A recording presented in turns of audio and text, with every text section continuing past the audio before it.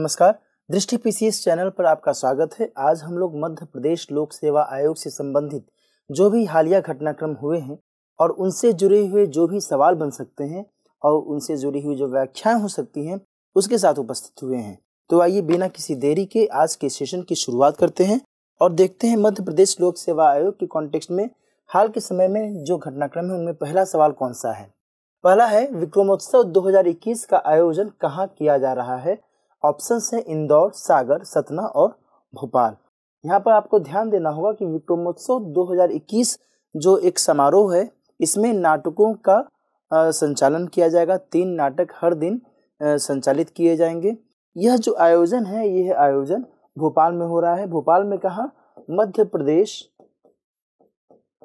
जनजातीय संग्रहालय।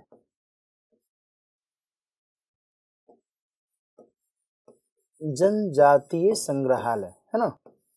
यानी इस संग्रहालय में, इस म्यूज़ियम में, इस आयोजन को किया जाने, किया जा रहा है और यहाँ पर नाम यहाँ पर ध्यान रखिएगा, विक्रमोत्सव।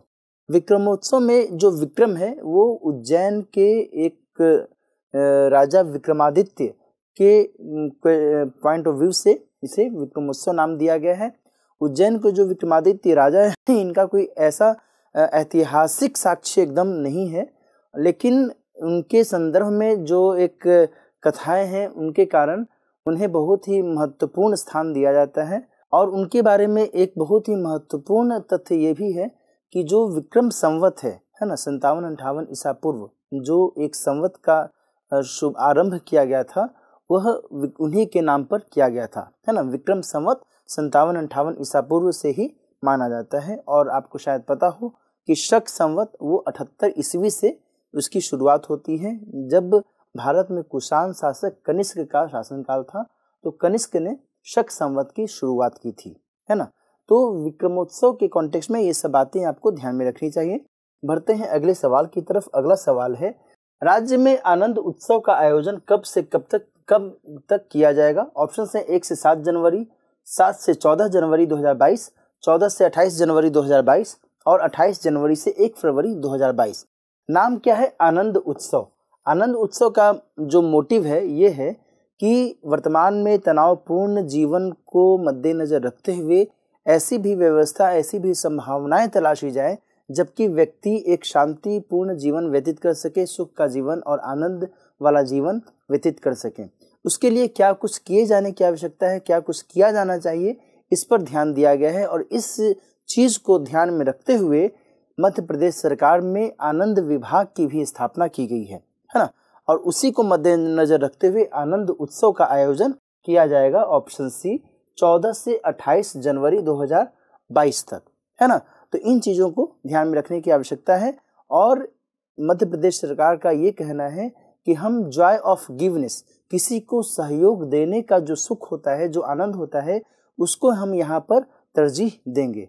तो इन चीज़ों का यहाँ पर आपको ख्याल रखना होगा। ऑप्शन सी इसका सही उत्तर है। अगला सवाल है, चित्र भारती राष्ट्रीय लघु फिल्मोत्सव 2022 का आयोजन कहाँ किया जाएगा? ऑप्शन हैं भोपाल, ग्वालियर, जबलपुर और छतरपुर। इस प्रश्न का सही जवाब है। ऑप्शन ए भोपाल में इसका आयोजन किया जाएगा भारत भवन में। भारत भवन एक स्थान है, एक बिल्डिंग है भोपाल में। वहाँ पर इसका आयोजन किया जाना है और भारत भवन जो है बहुत ही महत्वपूर्ण स्थान माना जाता है कला के दृष्टिकोण से। तो आपको यहाँ पर ध्यान रखना होगा कि भोपाल में कहाँ पर भारत भवन में इसका आयोजन किया जाएगा। अगला सवाल देखते हैं। निर्झरणी महोत्सव का आयोजन कहाँ किया जा रहा है? ऑप्शन है झबुआ, मंदसौर, अलीराजपुर या फिर रतलाम। इस प्रश्न का सही जवाब है ऑप्शन सी, अलीराजपुर में इसका आयोजन किया जाएगा। नाम क्या है? निर्झरणी महोत्सव। निर्झरणी महोत्सव में नदियों के प्रति जो एक समर्पण है, नदियों के प्रति जो एक आभार है, उसे व्यक्त करने के लिए और चंद्रशेखर आज़ाद की स्मृति में इसका आयोजन किया जा रहा है कहाँ पर? अलीराजपुर में, है ना? अगला सवाल देखते हैं।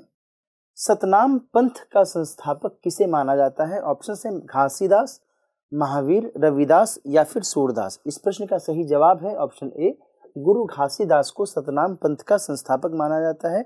जो घासीदास जी थे, इनके बारे में ये कहा जाता है कि ये पशु प्रथा के विरुद्ध थे और समाज में जो भी अन्य कुप्रथाएँ थी, उसके अगेंस्ट में, उसके विरोध में इन्होंने कदम उठाए थे। इस लिहाज से इनकी चर्चा अक्सर होती है। ऑप्शन ए इसका सही उत्तर है।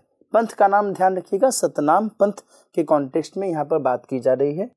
अगला सवाल देखते हैं। India Today State of the States conclave 2021 में most improved big states in agriculture का पुरस्कार किस राज्य को मिला है? ऑप्शन से राजस्थान, तमिलनाडु, मध्य प्रदेश या फिर अरुणाचल प्रदेश। इस प्रश्न का सही जवाब है। ऑप्शन सी मध्य प्रदेश को जो है सबसे अच्छा पुरस्कार, सर्वश्रेष्ठ पुरस्कार इसमें दिया गया है। किसके द्वारा यह पुरस्कार दिया गया है? तो इंडिया टुडे के माध्यम से जो रिपोर्ट आई है, उसके हिसाब से मध्य प्रदेश को ये पुरस्कार दिया गया है। और सबसे बड़ी बात यह है कि यह पुरस्कार जो है मध्य प्रदेश को चौथी बार मिला है है ना? तो यहाँ पर आपको ये चीज़ें ध्यान में रखनी चाहिए। मध्य प्रदेश जो है क्षेत्रफल के दृष्टिकोण से पूरे भारत में सबसे अधिक जो है वन क्षेत्र घेरता है। यहाँ पर आपको ये नोट करने लायक बिंदु है, इसको ध्यान में रखिएगा। बढ़ते हैं अगले सवाल की तरफ़। अगला सवाल है इंडियन यंग इन्वेस्टर्स चैलेंज का आयोजन किसके द्वारा किया गया है? ऑप्शन है Vikram university Sam Global university Makhan Lal Chaturvedi university या फिर रानी दुर्गावती विश्वविद्यालय? इस प्रश्न का सही जवाब है option B Sam Global university यह जो चैलेंज है, यह India Indian young investors challenge इसका शुभारंभ मध्य प्रदेश के राज्यपाल मंगू भाई पटेल जी ने किया है और इसका जो शुभारंभ है, किसके द्वारा किया गया है? सैम ग्लोबल यूनिवर्सिटी के द्वारा किया गया है। ऑप्शन बी, इसका सही उत्तर है। अगला सवाल देखते हैं। भारतीय शास्त्रीय संगीत का सबसे प्रतिष्ठित महोत्सव, तानसेन समारोह कहाँ आयोजित होगा? बहुत ही महत्वपूर्ण सवाल है। ऑप्शन है जबलपुर, भोपाल, ग्वालियर या फिर उज्जैन। इस प्रश्न का सही जवाब है ऑप्शन सी ग्वालियर में तानसेन महोत्सव का आयोजन किया जाएगा। हमेशा इस महोत्सव का आयोजन किया जाता है और तानसेन के बारे में आप शायद जानते होंगे कि इनका बचपन का नाम क्या था? राम तनु पांडे, है ना? स्वामी हरिदास जी के अंतर्गत रहते हुए इन्होंने संगीत की शिक्षा ग्रहण की थी, ऐसा माना जाता है। और मैं आपको ये भी बता दूँ कि मुगल सम्राट अकबर के दरबार में भी ये नवरत्नों में से एक थे। अकबर ने ही इन्हें मियाँ तानसेन, यानी मियाँ की उपाधि दी थी। रामतनु पांडे से ये बाद में तानसेन हुए थे और अकबर ने इन्हें कौन सी उपाधि दी थी? मियाँ की उपाधि दी थी। मियाँ तानसेन इन्हें कहा जाता है। और मोहम्मद गौस जो एक सूफी संत थे, उनके प्रभाव में ये थे और वर्तमान में जो इनकी समाधि है, मोहम्मद गौस की समाधि के बगल में ही इनकी समाधि भी ग्वालियर में ही है। तो ग्वालियर में ही तानसेन समारोह का आयोजन किया जाना है ऑप्शन सी इसका सही जवाब है।